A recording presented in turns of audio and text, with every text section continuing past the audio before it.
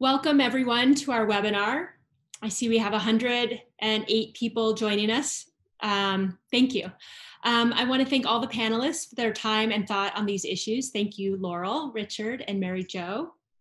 I want to thank Rebecca Leber, our moderator, for her impactful work on environmental issues.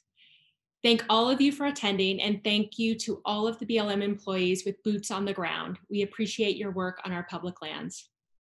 Also, we have Dave Gardner here from Studio 809. He's recording this for his fabulous Peak Environment podcast. In a couple of weeks, this will be available for you to stream. You can see here how we'll proceed to panelists questions, to panelists questions, and then we'll open it up to all of you. Please put your questions to the panelists in the Q&A, not the chat, and please use the chat to talk among yourselves. A little bit about PEER. We were founded in 1992. We have staff in six states with our headquarters outside of DC. We work with government employees, that's federal, state, and local employees.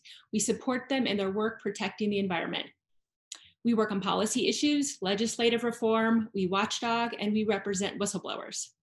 One tool that we've used over the years to hear from agencies are anonymous employee surveys. You're all here today because you care about the Bureau of Land Management. This is the largest public land management agency overseeing 245 million acres in 12 states.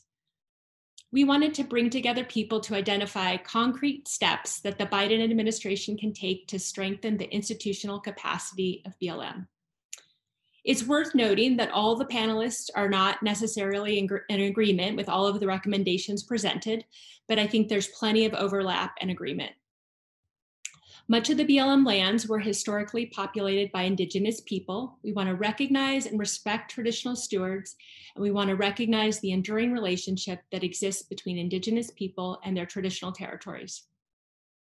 This conversation will be moderated by Rebecca Leber, Rebecca is a journalist in Washington, D.C., and has covered environmental and policy issues for many news outlets. She was honored with the SEAL Environmental Journalism Award, which celebrates her work documenting climate change impacts and solutions. She is currently housed at Mother Jones. Rebecca, it is a pleasure to have you here. Thank you. Um, it's so great to be here for this discussion. And um, thank you to PEER, especially for organizing this at such an um, important inflection point for BLM and public lands management in general. So um, I'll keep this short because we have a lot to get through today, but um, we're going to have a lively discussion with um, first Chandra and Laurel on um, trends in morale and opportunities for conservation for public lands, um, followed by hearing from experts and former BLM employees, uh, Mary Jo and Richard, um, using their wealth of expertise to talk about um, what's in store and recommendations for the Biden administration. Um, and then we'll open it up to audience questions. So um, you'll be able to put that in the Q&A to um, ask the experts yourself. Um, and I guess with that, I will turn it back over to Chandra for her presentation. Thanks, Rebecca. Um, so historically, BLM mailed out surveys to employees. However, unlike other agencies, BLM has removed most employee names and contact information from their websites. We think in response to increasing threats to employees.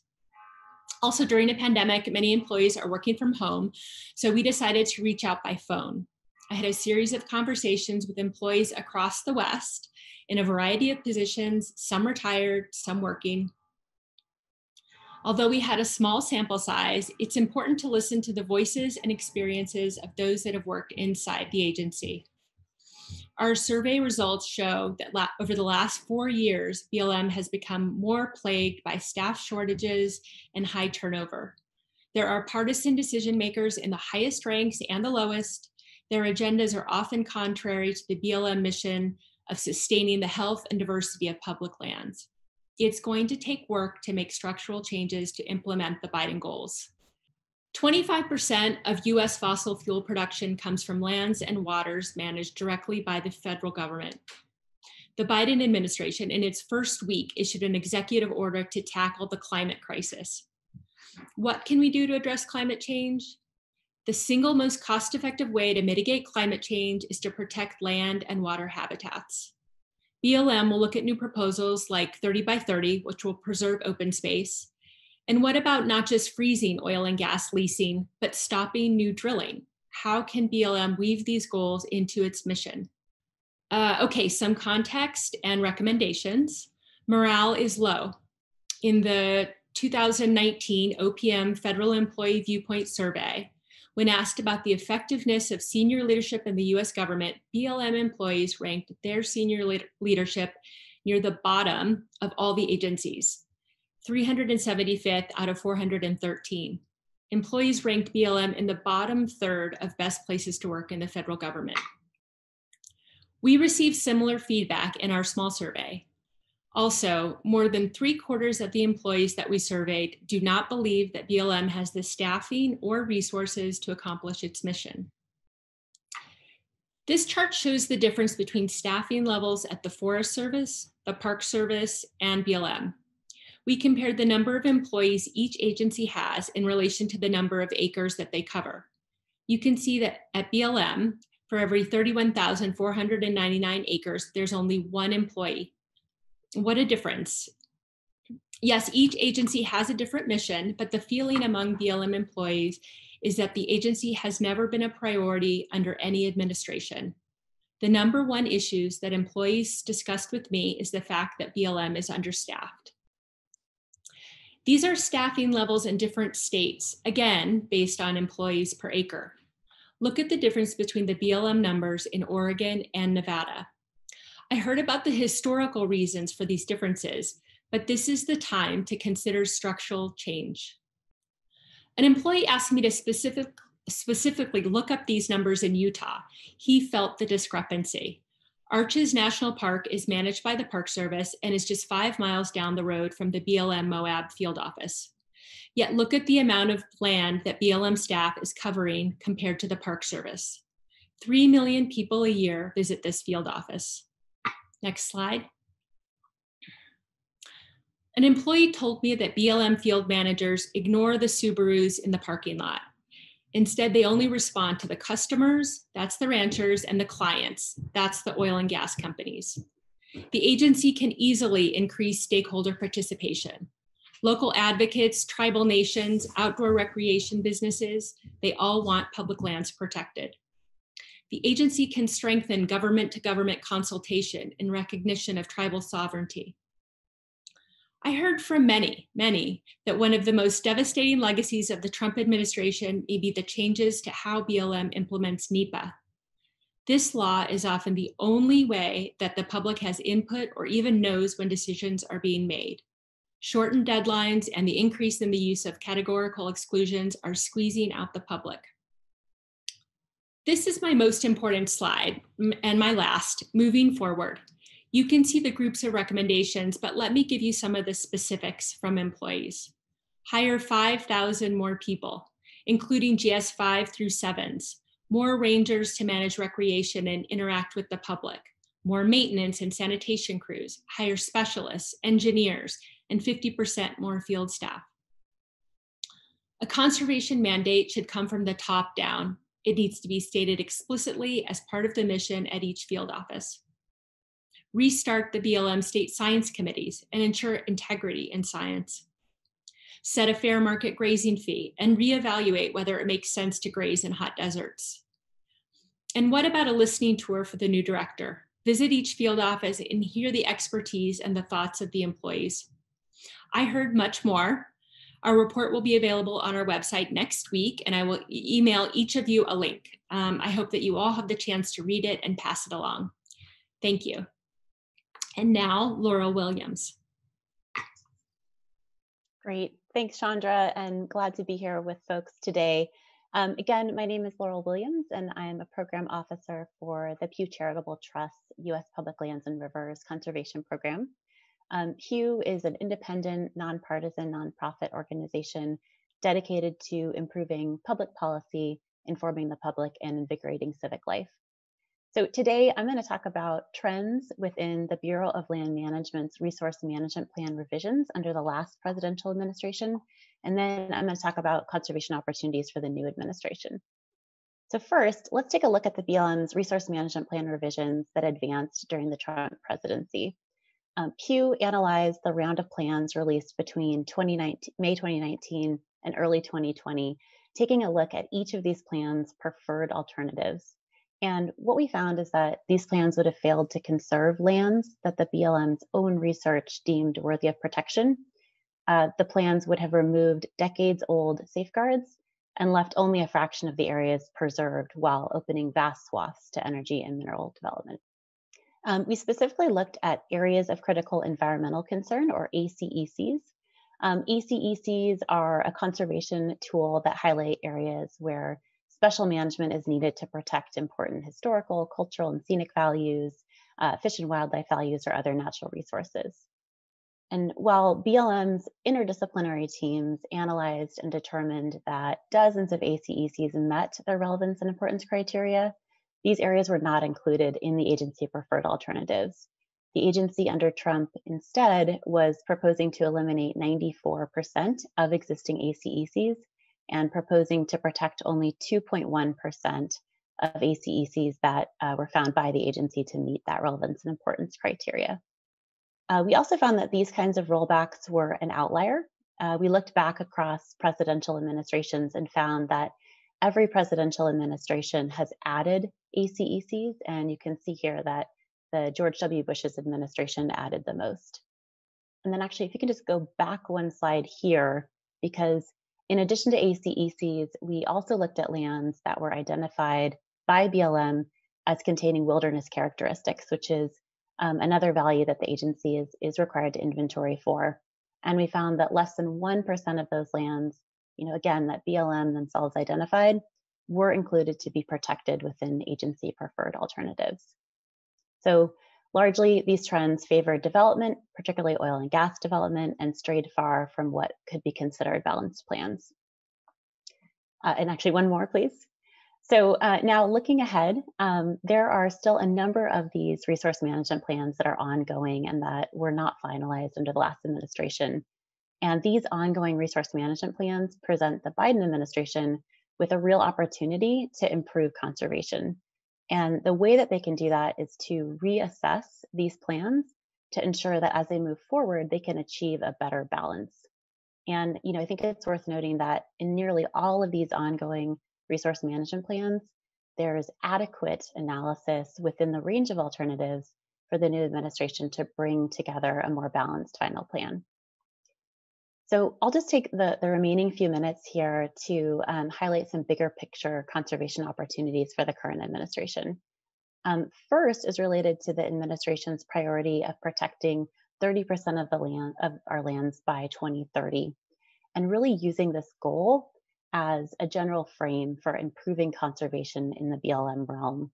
Um, you know, as has been said here, um, BLM is the largest land manager in the nation with over 245 million surface acres in their jurisdiction. And so, um, you know, BLM lands are really a vital piece of achieving 30 by 30.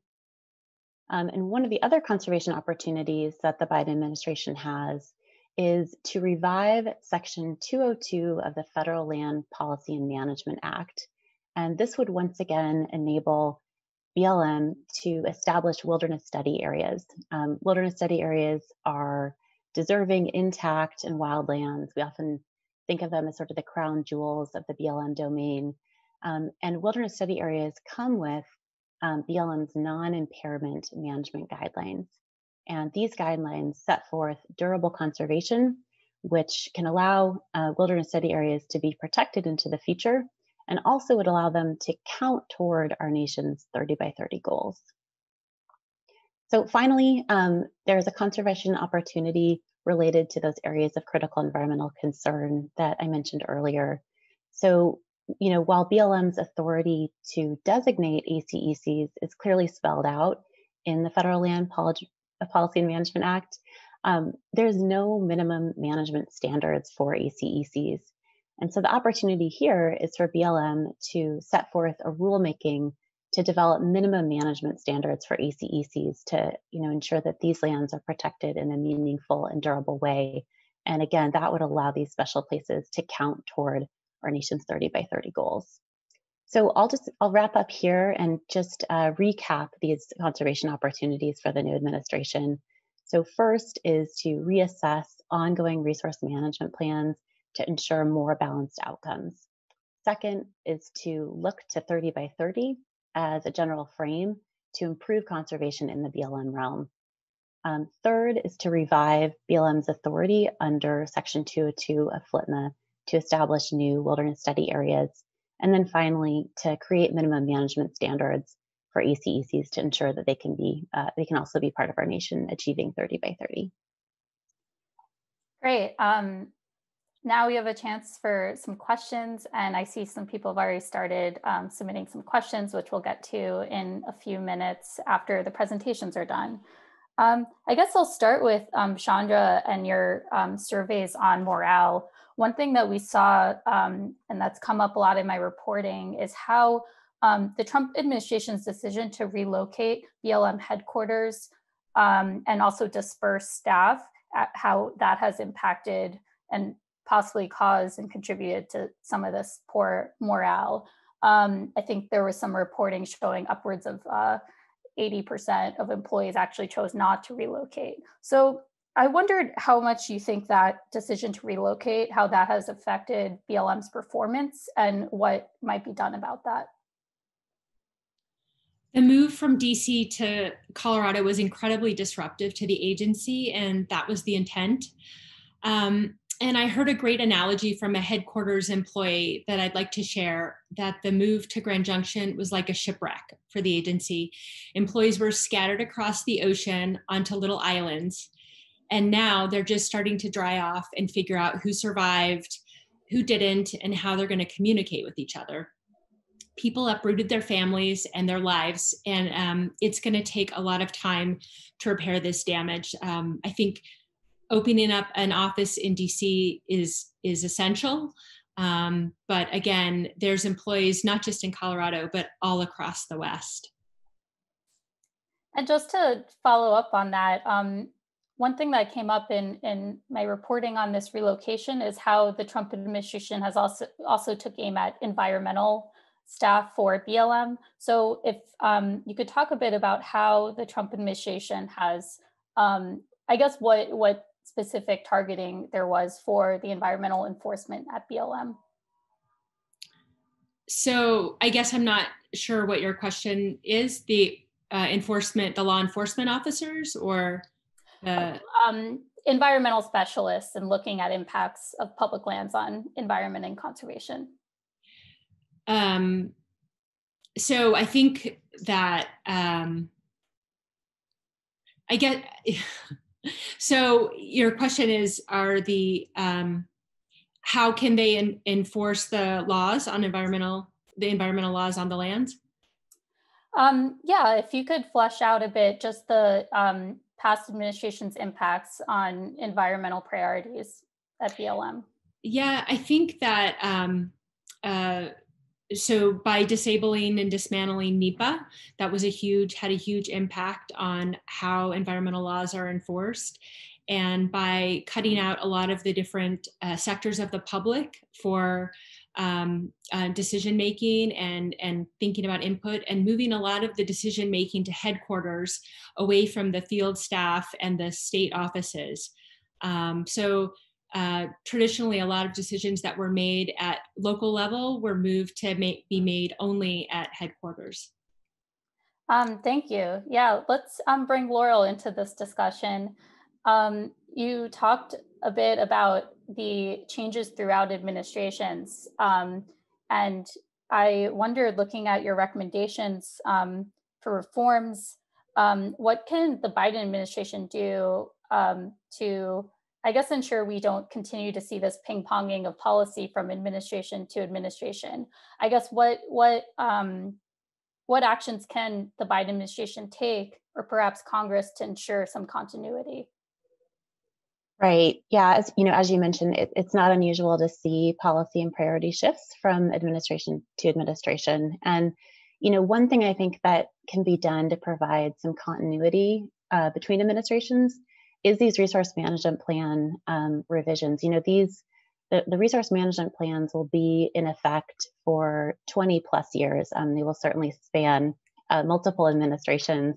And so um, really, uh, you know, making sure that these are done right, that they're done in a balanced way, um, it is crucial because they will last for, for so long. And so, you know, again, the, the Biden administration has a real opportunity here with um, all of those plans that were not uh, not completed during the last administration. Um, so that's one piece, and then um, you know, additionally, the the, the rulemaking that we mentioned, um, rulemaking can also span um, administrations and can really set forth some um, some more continuity to allow for additional tools for BLM to uh, bring forward conservation. Um, and do you see any opportunity for bipartisan consensus here or um, action by Congress?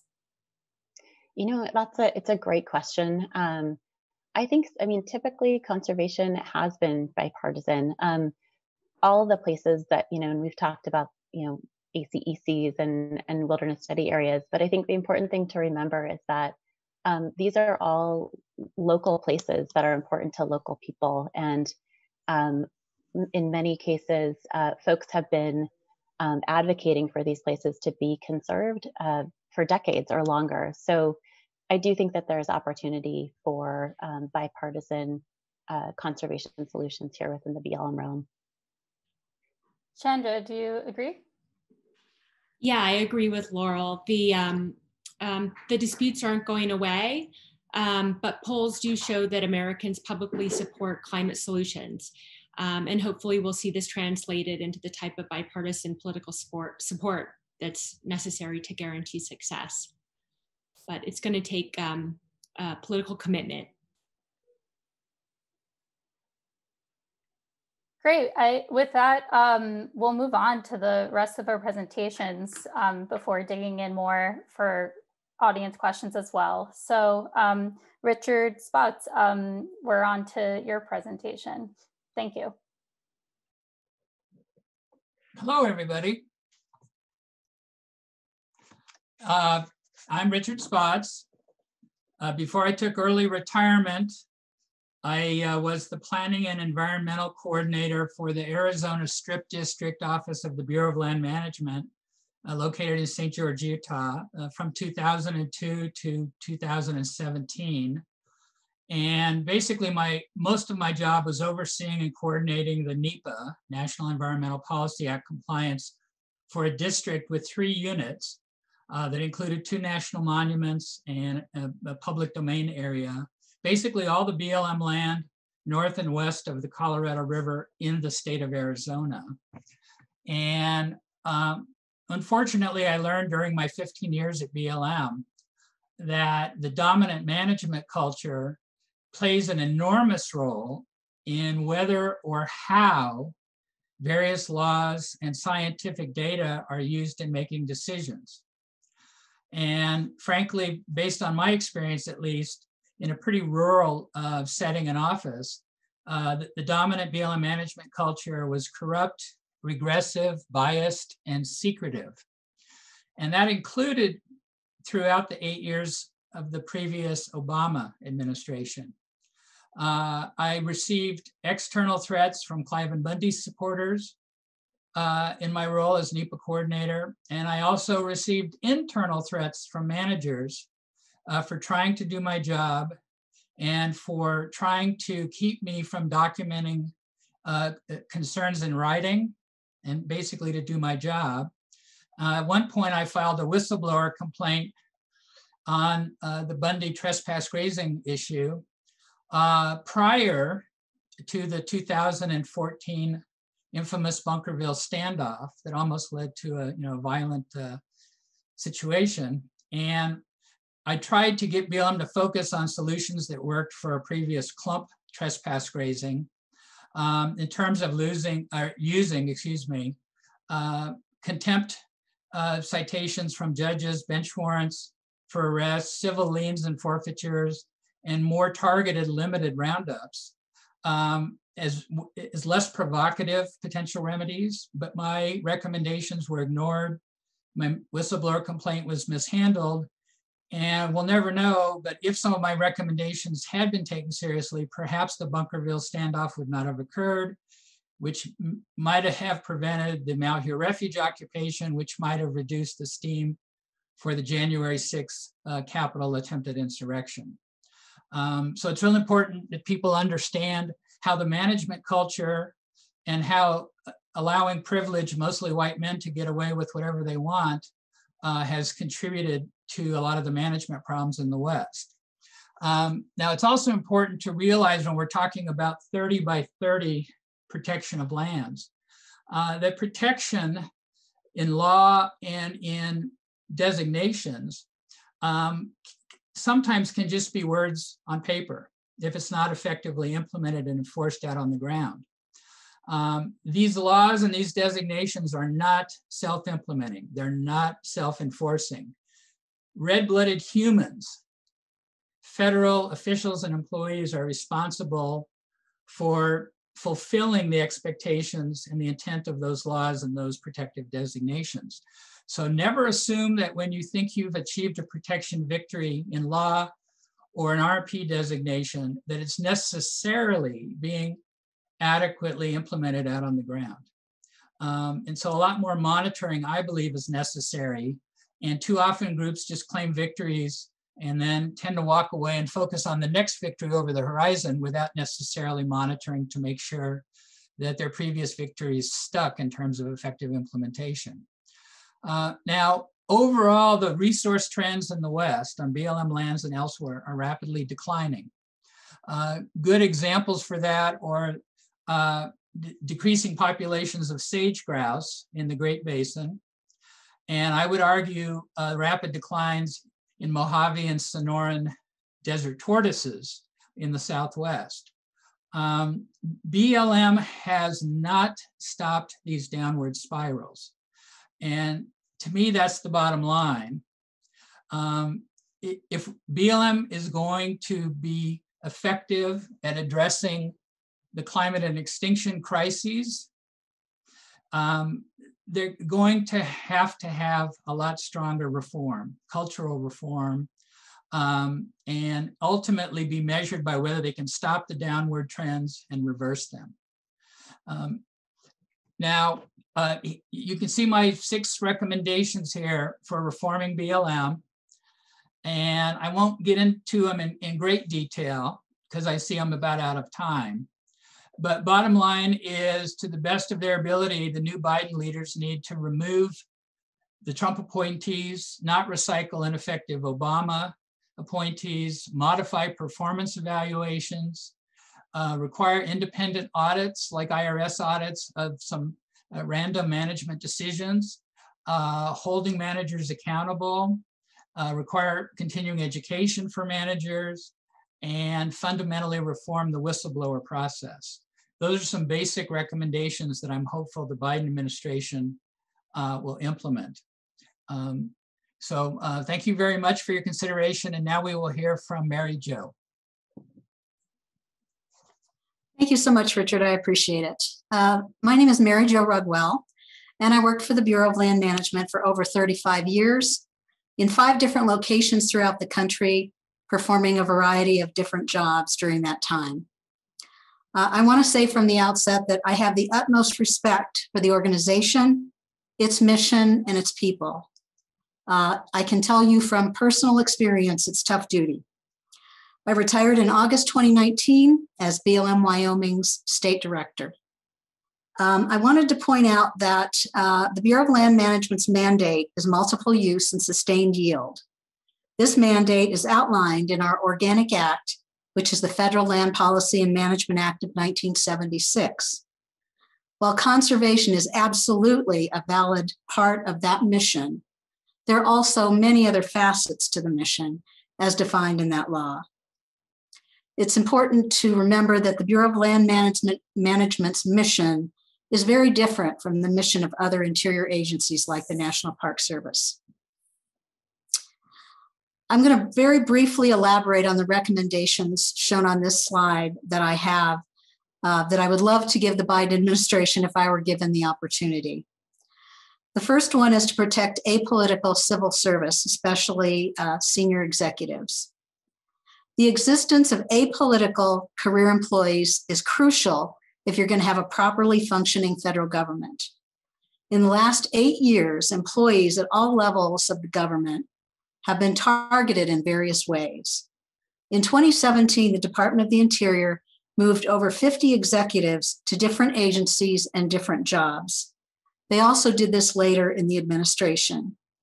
I believe it was done as a shot across the bow, if you will, to make sure that top leadership was more concerned about whether they would have a job tomorrow than possibly making the best decision for their unit. Um, I think that's not a good thing to do to, to people. The second point is communicate with employees at all levels of the organization. As we all know, two way communication is vital in any healthy organization. In particularly the last four years, very little information was sought from employees and very little information was shared, even at the executive level. There were many examples of times that we would find out about things, decisions, and events by reading about them in publications like E&E News. Clearly, that's not a good way to run an organization. The next point trust but verify, hold employees accountable.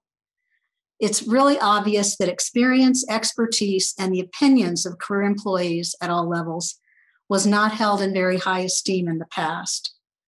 Employees have to feel that they are listened to and valued. We are very adept at adapting, and we will honor the direction we're given as we know that we're part of the executive branch, and that's our job. The next point, which has been covered, but I think uh, really should be emphasized we need to restore a better national office to the Washington, D.C. area. The move of the Bureau of Land Management's national office to Grand Junction, Colorado was a thinly veiled effort to gut the organization. With no national leadership inside the Beltway, the Bureau of Land Management will never be able to compete with and coordinate well with other organizations. I'm not advocating putting the same structure in that was previously in place. There were a lot of things about it that were not efficient. But creating a more efficient Washington office would be a great opportunity to honor President Biden's Build Back Better initiative. The next point honor the delegation of authority. Decisions need to be made at the appropriate level of an organization. There's no need to usurp decision making to the departmental level or to the national office level, as long as BLM leadership is given clear direction and they're held accountable to perform the tasks as they're given. The next point amend the Federal Land Policy and Management Act. The Bureau of Land Management, Management's mission is very broad and very vague. Unless FLPMA is changed, administrations can wreak havoc on the organization by implementing drastic changes of direction between administrations. This point was, was mentioned earlier in the broadcast. If the American people really want the Bureau of Land Management to operate different, differently than it does and than it has, this really needs to happen. The last point I would want, like to elaborate on is nominate a knowledgeable director candidate. The Bureau of Land Management is a very important organization. Not having permanent leadership in place is really inexcusable. This organization has not had a permanent Senate confirmed director in over four years.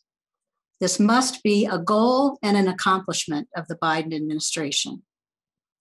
I really appreciate the opportunity to participate today. Thank you both for those presentations. Um, to get started here, um, Richard, you mentioned, you talked about your experience with the Bundys. And we've seen um, this, we've seen how political extremism has spilled over into public lands debates um, the past decade more. And I um, were familiar with the Bundy occup- occupation as an example of this and wondered what kind of recommendations you would have for um, the Biden administration and also BLM to deal with um, the use this kind of political extremism and support BLM staff? Thanks, Rebecca.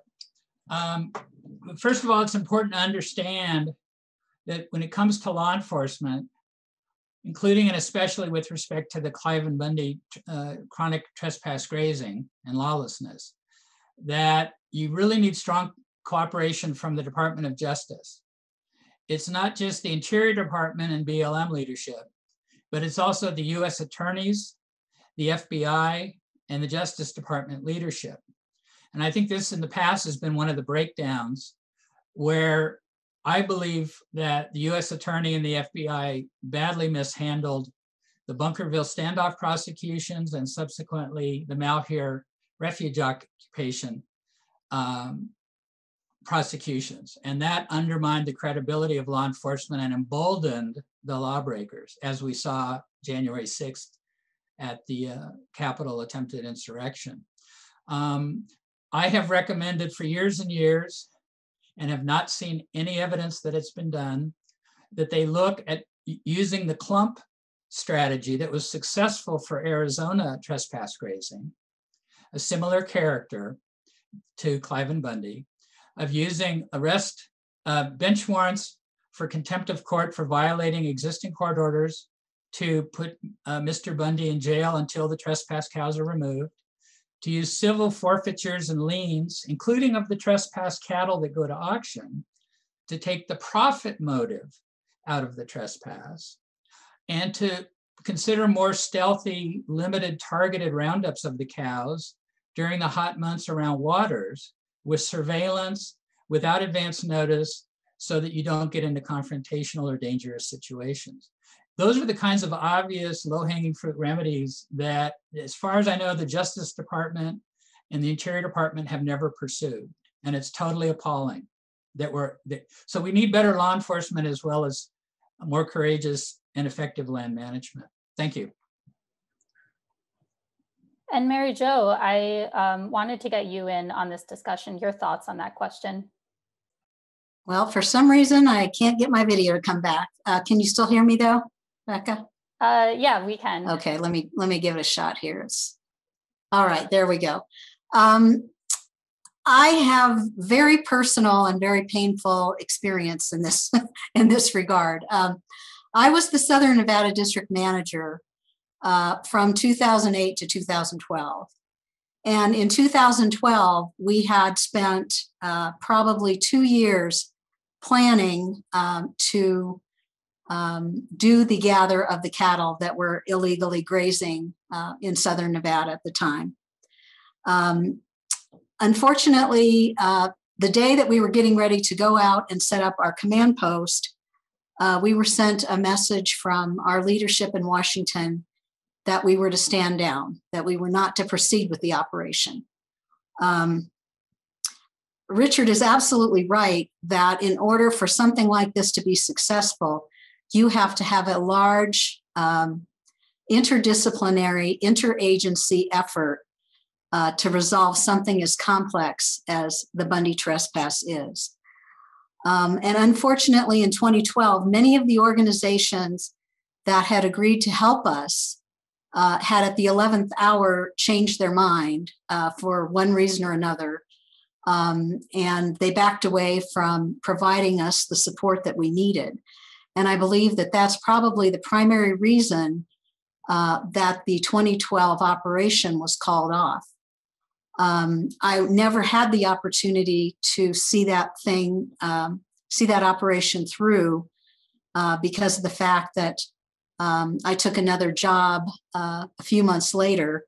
Um, and I was not there when they attempted uh, to do the roundup in 2014.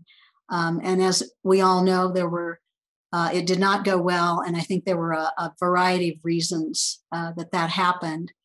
Um, but not having support from the Department of Justice and the FBI um, and state agencies and local law enforcement, um, if you don't have all of those people working with you, uh, it's going to be incredibly difficult to be able to resolve that very complex problem. Thank you. And um, my last question before we turn over to um, the audience questions that people have been putting into the Q&A. Um, I wondered, and, and, we could start with Mary Jo for this, how big of a challenge you think it will be for the Biden administration to get BLM employees on board with his administration's priorities. As we've talked about, BLM is a large um, agency that's spread across the country.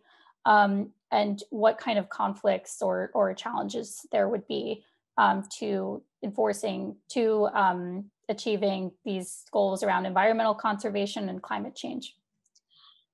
Rebecca, I think I think it's a great question. I don't I really don't think that the administration is going to have a problem in getting Bureau of Land Management employees to back um, a lot of the things that they have in mind. Um, I think the key here is for employees to be talked to and listened to, and then to give them clear direction in terms of what your goals are.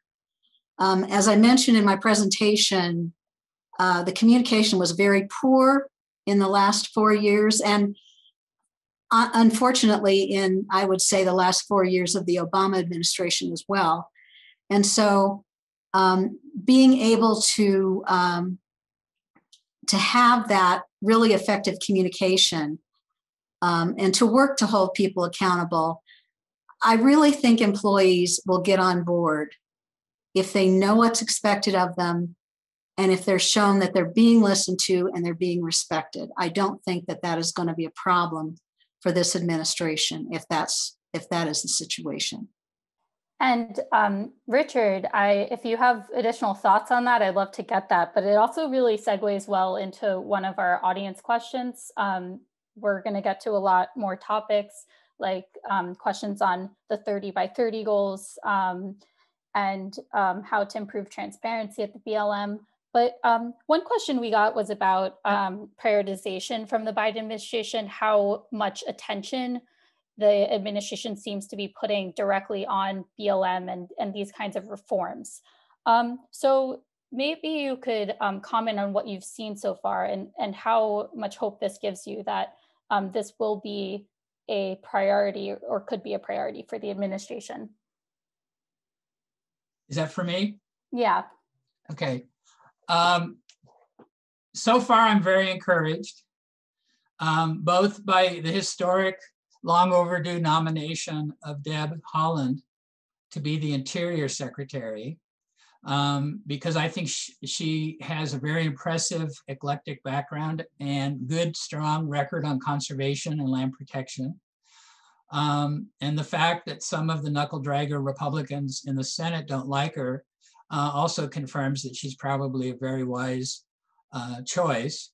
I was also very pleased to learn that Nada Culver, has been nominated to be the BLM Deputy Director for Policies and Programs um, because I've worked with Nada in the past and I think she has a very strong uh, background on BLM issues.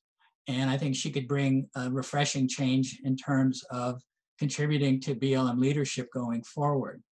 Uh, but the one thing I really want to say is that for all the people commendably working the last four years to try to stop, delay, reverse, rescind all of the horrible decisions and actions of the Trump administration and former Interior Secretary Bernhardt and former acting BLM Director Pendley, that I urge all of you to put the same or greater effort into supporting the positive changes that the Biden administration is trying to achieve as evidenced by the initial, initial round of executive orders and interior secretarial orders, which I've all read and which are very positive. So again, just as you worked hard to stop weakening and going backwards on public land conservation, please have the same or greater efforts to support the Biden administration, including to help Congress be more supportive in terms of reforming FLPMA, uh, supporting the uh, improvements to the RMP process, more conservation, ACECs, wilderness study areas, and more funding. But be sure that if you increase BLM's capacity for management, that it's linked to achieving those cultural reforms. Because I believe that if we don't get the management cultural reforms, we're not going to get the bang for our buck out of any increased staffing and funding. Uh, thank you. Thank you. Um, so there were a number of questions on the 30 by 30 conservation goals of the Biden administration. So um, I guess to kind of group those together, um, and this could go for, I think, any one number of our experts to answer, um, is um, is what what counts towards the 30 by 30 goals. Um, some questions noted a distinction between preserve, um, sorry, protect and conserve um, lands and whether that actually matters in, in trying to achieve those ambitious goals. Um, and a second, more specific question was how um, livestock grazing factors in and whether um, those goals would consider the harmful ecological impacts of livestock grazing, how that would influence those 30 by 30 goals. Um, so uh, I think we can direct that question um, perhaps to Laurel, if that works for you. Yeah, thanks. Thanks for the question, um, folks, folks in the audience, and Rebecca. Um, you know, I'll. I think I'll just start and say that there. Um, th this is really probably the crux of 30 by 30 is really trying to determine um, what sort of conservation tools um, in the BLM toolbox can can be brought forward to achieve these goals. Um, you know, I mentioned a couple of them, um, but those are certainly not the only ones. And um, I, I, did see some other comments in the in the chat box about things like wildlife corridors. Um, you know, others that we didn't really talk about here today, but but really probably should be considered too are things like wild and scenic rivers, and um, and there are likely others as well. So, um, you know, I think what's important is uh, is really ensuring that BLM has this really full suite of options as as they move forward and consider um, what should be counted toward those 30 by 30 goals. And um, I wondered if is there anyone else who wants to jump in on that before we move on? I'd like to, if if I could, for just a second. Um, I think it's really important to understand that livestock grazing is another valid uh, part of the Bureau of Land Management's mission. But livestock grazing needs to be properly managed livestock grazing and done properly and done in the right places. And it absolutely can happen. I've seen it happen. Um, it is. It can be a really um, contentious program at times, but at the end of the day, uh, many ranchers are are very good conservationists, and I think we need to be very careful to make sure that we don't um, you know, we don't discount a valid use of the public lands uh, that's been going on for years, particularly if we ensure that it's done properly. Uh, it's it's an important valid use, but as I as I pointed out, it has to be properly managed and done in the, the appropriate places. Um, great. Well, um, we okay. So um, yeah, we got questions on a lot of topics. I, one area that's come up a lot is oil and gas extraction. So would love to dig into that further. Um, so this is um, two different questions that I'll group together. Um, one is a hypothetical of how much of a problem would it be if oil and gas were taken out of the mix? Um, and the second question was why um, why don't we replace oil and gas extraction on BLM lands with renewable energy sources like wind and solar farms? Um, and then um, it, uh, yeah, so I, I, uh, um, let's, let's kind of talk about those kinds of hypotheticals, what um, the panelists think on that. Um, and if, um, I think um, maybe this is a question for Richard or if someone else would like to jump in on that. Hi, Hi. Does I guess um, just looking yeah, at oil and gas extraction, if you right in, in terms of in terms of oil and gas, I think it's obvious to anybody who's following the science um, that we need to rapidly transition away from fossil fuels and burning them, and toward uh, clean renewable energy sources like solar, wind, tidal, geothermal, uh, etc. Um, And in some cases, BLM under FLPMA, under existing law, uh, has discretionary authority uh, about oil and gas related decisions. But it's important, though, to know that the framework and the limits on that discretion ultimately are from Congress in terms of the statutory framework. So there's some improvement that can and should occur with how BLM applies its discretionary authority to limit, restrict oil and gas and coal development on BLM lands. But ultimately, uh, my guess is that Congress is also going to have to enact some federal laws and reform FLPMA um, to do that. And speaking of reform, I just like to tag on uh, to Mary Jo's comments on grazing, which I agreed with, but to point out that among the FLPMA reforms that could occur would be to raise BLM grazing fees to fair market value to stop an outrageous taxpayer subsidy of grazing administration on BLM lands. And second, to allow willing seller acquisition of grazing permits uh, for their retirement. If Congress allowed those two reforms, raising grazing fees to fair market levels comparable to state and private lands, and allowing willing sellers uh, to, you know, to transfer grazing permits for permanent retirement, those would be very valuable, I believe, to uh, advancing conservation. Thank you. Thank you. Chandra, do you want to jump in on that? Yeah, I, I would like to comment a little bit about the oil and gas system um, and the approach that's taken um, on BLM lands. I think that the system right now is fundamentally broken. I think there's um, there's a series of legislative reforms that are being considered um, um, by by different um, uh, members of the legislature that I think are, are really important to to consider. Um, but I also, um, right now, renewables are part of the, the, multiple use mandate, and we see solar farms um, popping up as um, on public land. And I think we need to be cautious with that also. I think, um, you know, with renewables, you still get those same spiderweb of roads across open spaces, and they do have impacts to uh, local areas. So um, I just um, I think it's better if things move slowly. And I think it's better if um, we get the chance to plan um, and have a lot of public and stakeholders involved in those in those um, those planning decisions. Rebecca, can I jump in too? yeah, of course. Go ahead. Okay, thank you. you. question. Uh, no, Chandra makes a great point. Um, you know, there's a lot of renewable energy on public lands, but it is not without impacts. Um, it has to be carefully planned and carefully executed in order to um, to not have uh, significant impacts. Um, I do think that I agree absolutely that um, we all would like to see transitioning away from fossil fuels and, and toward uh, cleaner energy.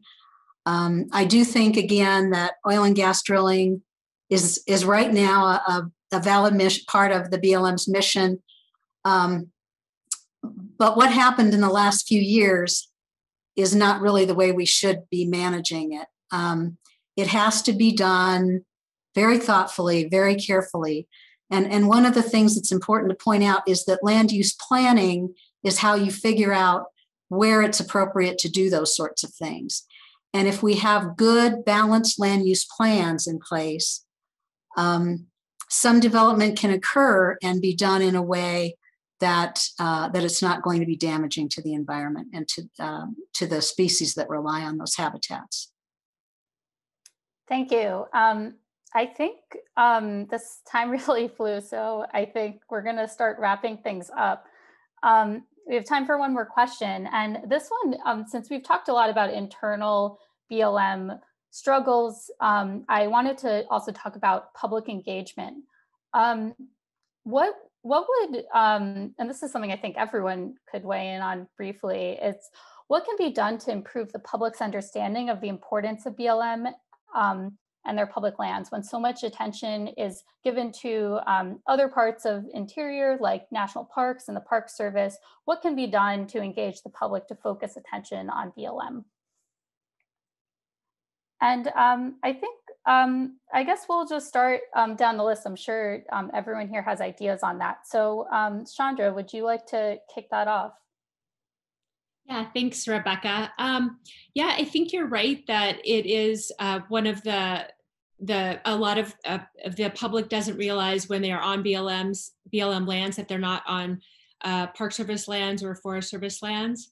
Um, and so I do think like a giant campaign um, promoting awareness. I had uh, an employee um, recommend that the Job Corps um, um, be assigned to BLM offices.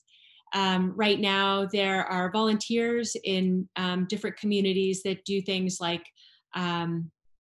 uh, work on trash pickups and and I think that it there are there are some positive use to volunteers. Um, I know that in some places they've had um, uh, volunteer archaeologists helping with some of the work that's going on. So I think anything that can be done to just increase public engagement and recognizing that that there's a lot of different stakeholders um, rather than those that are just uh, traditionally recognized at a lot of the field offices those are really interesting. I, I find the idea of assigning the Corps to the Corps to BLM really fascinating. Um, do we have any other ideas from the panelists on engaging the public? Richard? Yeah, I think one important tool uh, that maybe has been utilized well for national parks and some national wildlife refuges, but not so much for BLM, are friends groups, local friends groups. I know there are some and they've been very effective for some of the national monuments like Grand Staircase Escalante uh, in Utah and Gold Butte in Nevada. Um, and it's really good if you can have a local friends group uh, to kind of help maintain the visibility of BLM conservation issues, to help monitor uh, the NEPA coming out of those offices, uh, to make sure that the managers are following the law, not trying to get around it. Um, and so I think part of it is not only kind of increasing public awareness, but more on the ground or local vigilance of conservation minded people. Um, I, I, think that'll be an, an important component going forward. Thank you. And Laurel, sounds like you want to go ahead. Sure. Well, and thanks. I think, you know, what Chandra and Richard have mentioned, there are great ideas. Um, and I just want to say, you know, I have opportunity to work with folks um, all around the country who are, are doing exactly this and working really hard in, uh, in spotlighting local BLM lands. Um, and so, you know, continuing to tell those stories about the important local places and why um, they need to be conserved and protected, um, I think is another way to really um, help spotlight the BLM. Thanks. Great. And um, Mary Jo, did you want to finish us off and? Um, sure. I, I think that's, yeah, that's a million dollar question. You know, when you have an organization that's responsible for so many millions of acres um, and has such a limited capacity uh, to do that work, um, I think having friends groups and having volunteers help is is incredibly important uh, because obviously we couldn't do the job without them. Um, but getting the word out about how great the BLM really is in terms of all the wonderful uh, areas that we are tasked to manage. Um, I'm still trying to figure that out, even after working for BLM as many years as I did. Um, we're a lot better at uh, just trying to get the job done than we are uh, advertising uh, what a great um, what a great thing public lands are. So um, I, I don't have I don't have the best idea of how to how to make that happen, but uh, I think some of the ideas expressed by the other panelists have been very good. It's certainly not an issue that can be addressed overnight, um, as many of these are that we talked about today. Um, thank you so much to Peer and Peak Environment Show for, um, for um, organizing this today and so many thoughtful questions uh, and detailed questions from the audience to our panelists. This was a great um, discussion, so appreciate the opportunity. Great. Thank you so much, Lee- Rebecca, for your work and um, for your um, help moderating this panel. And I want to thank all of you for coming today. Um, we'll go through all of the Q&A and see what we can figure out. And again, we have our report coming out next week. We'll send you guys all a link and uh, hope hopefully we'll hear from you again. Thanks very much. Bye-bye.